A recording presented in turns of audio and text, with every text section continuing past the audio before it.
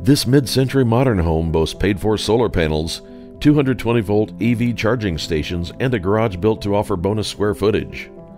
It offers two bedrooms, one bathroom downstairs, and two bedrooms upstairs with a laundry area and a primary suite with an ensuite bathroom.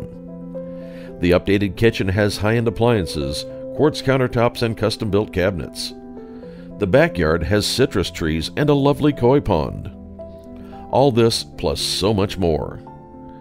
Ian Mark Villalba wants to help you turn your dreams into a reality. Give him a call today.